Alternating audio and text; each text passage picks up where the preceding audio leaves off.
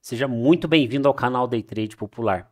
Vou mostrar para vocês hoje como que eu faço as marcações, né, dos suportes e resistências do gráfico. Então, geralmente eu faço isso e deixo no WO Foot, tá? Eu acabo não mostrando diariamente, mas eu sempre marco, tá, pessoal, para saber onde que é um suporte, uma resistência. Eu vou mostrar para vocês hoje como que eu faço. Vou pegar o dólar aqui. E como que faz essas marcações, André? Então a gente vai inserir linhas, tá? Mas tem algumas coisinhas aqui que ficam mais fácil para a gente é, entender como que faz as marcações. Uh, eu gosto de fazer as marcações em dois tempos gráficos. No 15 minutos, não.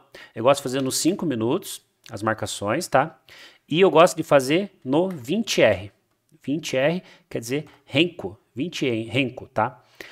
Uh, então, como que eu faço? Você tem que pegar uma semana para trás. Então, vamos lá. Semana passada é, foi dia 19, foi domingo, então dia 20. Então, a gente vai pegar aqui da última semana. Pode fazer mais para trás? Pode, mas esses são os pontos mais importantes. Daí você vai é, refinando, tá? Então a gente vai marcar sempre onde teve mais de um toque, ó.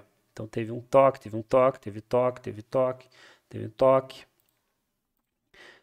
Pode pegar os fundos também, ó. Teve toques. Olha aqui, ó. São zonas importantes, né, que o preço tocou. Tivemos topo aqui ficou lateralizado, ó. E se você voltar para trás, você vai ver que ele acaba encaixando também. Tá, então vamos lá agora, outro tempo gráfico. Vamos para o tempo gráfico agora de 15 minutos, ver como é que ficou. Ó, então segurou bastante, veio, tocou na linha, ó. Beleza. Isso está no dia 22, vou pegar o dia 20, ó. Dia 20, ó, respeitou bastante, ó. Beleza. Vamos baixar agora para o tempo gráfico de 5 minutos. Aqui a gente consegue dar mais uma afinada, tá? A gente consegue pegar aqui, ó. ó. Toque, teve toque, teve toque, tocou.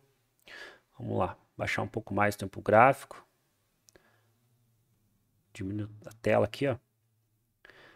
Veja como o preço respeita né, os suportes, as resistências. Nos 5 minutos você pode pegar uh, e refinar mais, né? Mas já, já ficou legal já. O que você pode fazer aqui, ó, por exemplo. Ó, aqui a gente acabou não pegando tanto teve bastante toque, ó.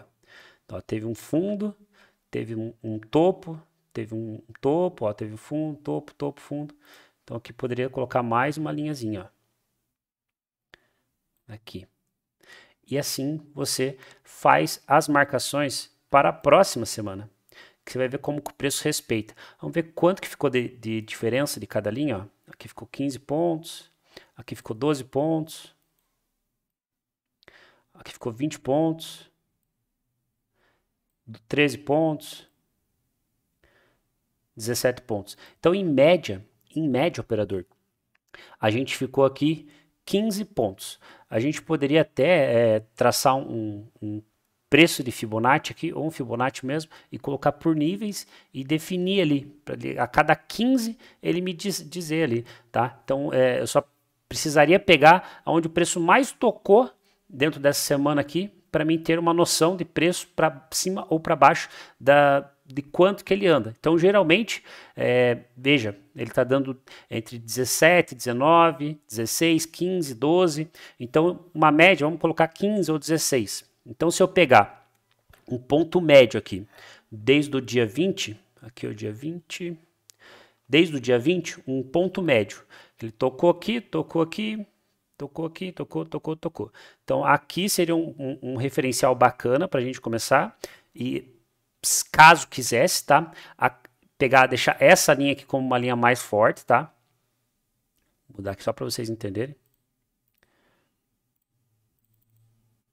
Poderia deixar essa linha mais forte e a cada 15 pontos você colocar uma linha para cima e uma linha para baixo. Quer ver? Vamos fazer isso só para vocês verem. Eu quero, na verdade, esse vídeo era para ser bem rápido mas eu já estou indo para uma parte um pouquinho mais avançada aqui. Ó. Então lá, 37 menos 15, 22. Então a gente colocaria uma nova linha no 22. Só para vocês verem como ele dá certo também, tá? Então você só acha onde mais toca no preço. Peraí, foi lá para cima. E coloca aqui no 22. Eu vou trocar a cor da linha para vocês entenderem bem.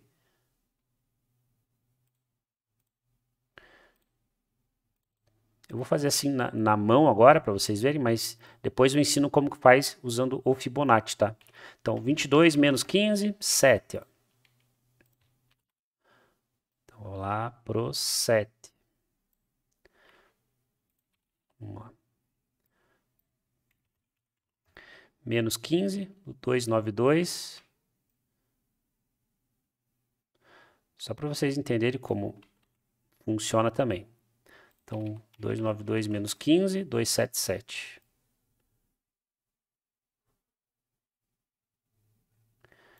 E se ele perde esse preço, 277 menos 15, 262.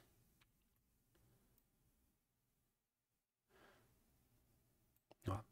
E para cima a mesma coisa, tá? Então, a gente marcou já o 337, né? Mais 15, 352.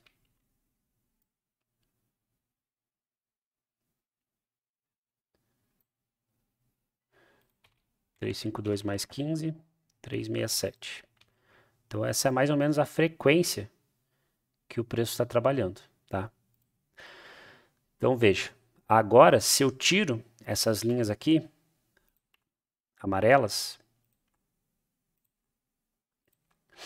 Veja como que mesmo assim o preço respeita essa frequência, tá? Então assim você tira um parâmetro. Então são duas formas de você fazer. Ou você acha a região que mais teve toque, né? Dentro desse, dessa última semana, tá? Então essa linha mais forte. E daí você pode usar essas frequências, né? Por exemplo, ó, o preço foi mais para cima. 67 mais 15, 82. Vamos colocar lá. Porque a gente está usando a frequência de 15 pontos. Vamos ver onde que bate. Bateu quase no topo ali. Então, assim que funciona. Vamos subir para o tempo gráfico de 15 minutos agora. E tá aí o preço. Lógico, você põe a linha que você quiser. Eu coloquei a linha mais grossa para vocês verem bem, mas dá para mudar também. Uh, tempo gráfico menor, você acaba ajustando mais os pavis, tá? Então veja, se eu colocar aqui um 3 minutos, só para vocês verem como o preço trabalha dentro dessa zona de preço, ó, suporte e resistência. Ó, o preço vem, vem, toca, vai, volta, toca. Então tem uma série de condições que dá para a gente trabalhar. Isso aqui serve para o mini índice e para o mini dólar, tá? Então é assim que é, traçamos linhas de suporte e resistência de um jeito mais simples, tranquilo e objetivo. Dá para trabalhar somente suporte e resistência, Ander? Dá. Operador que sabe trabalhar suporte e resistência pode operar só suporte e resistência. Também funciona.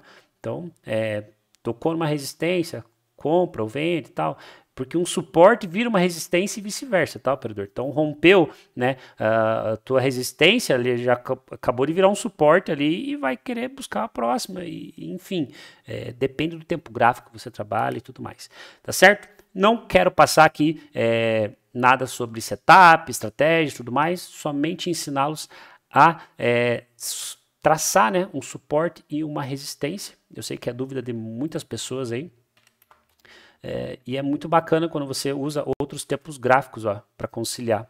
Ó, o 15R também, ó, bacana. O 15R, o 15R e o 20R são bons que eles tiram todos os pavis, sabe? Que deixa ruim as operações e olha como o preço respeita bem as linhas. E daí quando a gente vai para o nosso tempo gráfico maior, vamos colocar 60 minutos para ver como respeita também, né? Então assim, é, sempre que for traçar, entenda, né? Que a, a gente quer aonde o preço mais trabalhou, tá? Onde o preço mais bate, bate, bate.